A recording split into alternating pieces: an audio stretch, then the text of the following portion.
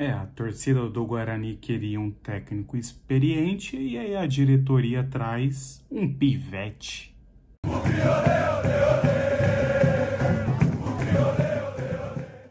Salve, salve família Bugrina! Tudo bem com você?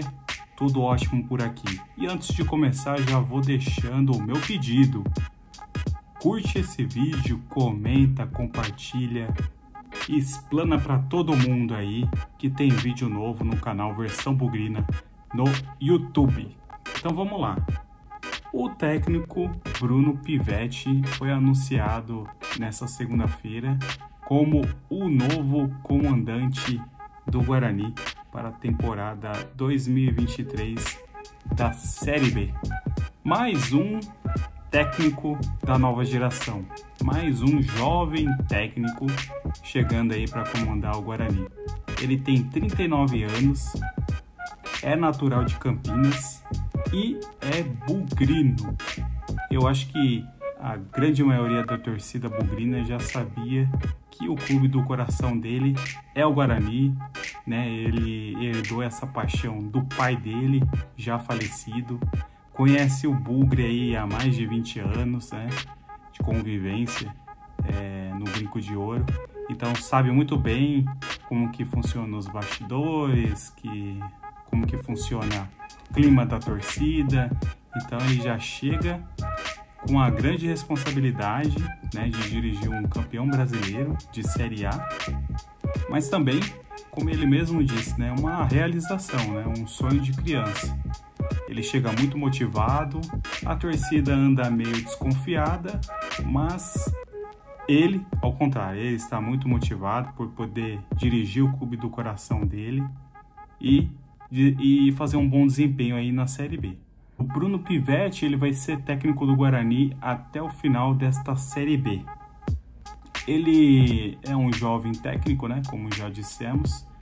Ele tem um modelo de jogo ofensivo, é, valoriza muito aí a marcação acirrada e tem também como característica aproveitar a base. Né? Então, o Guarani, que é um clube formador, né? já revelou muitos craques, ele pretende aí usar a garotada que se destacar no, no decorrer do ano, né?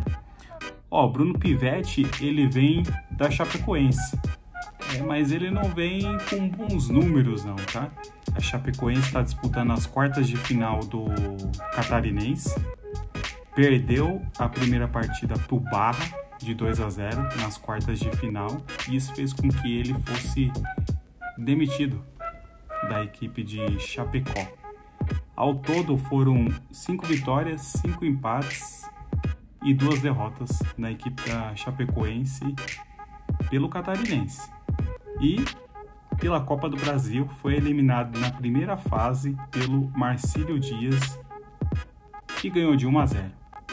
Além da Chapecoense, o Bruno Pivetti já dirigiu a Tombense, o Goiás, o CSA, o Vila Nova de Minas Gerais e começou a carreira como auxiliar técnico no Vitória da Bahia e também teve a oportunidade de desempenhar o papel de técnico e aí foi que começou a, a ser técnico aí pelas demais equipes. No total aí do, do, do seu histórico como técnico, ele não tem grandes vitórias, tá?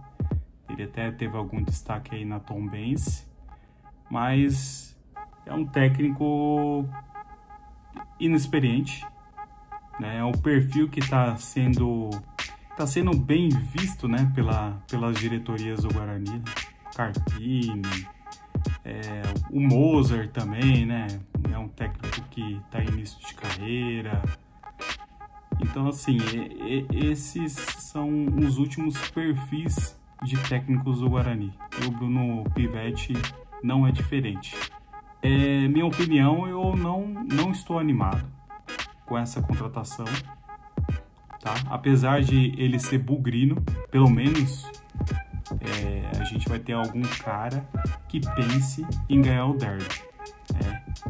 Que seja um fator emocional, motivacional que vai entrar em campo. Então a gente sabe que a gente tem um bugrino nas quatro linhas. Isso é muito bom.